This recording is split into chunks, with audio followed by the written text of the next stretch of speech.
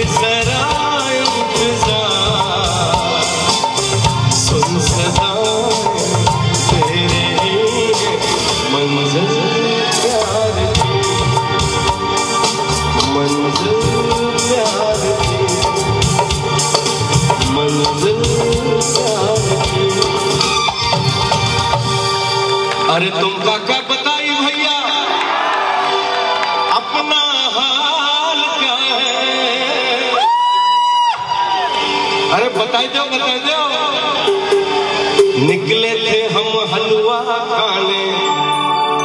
मुँह जल गया।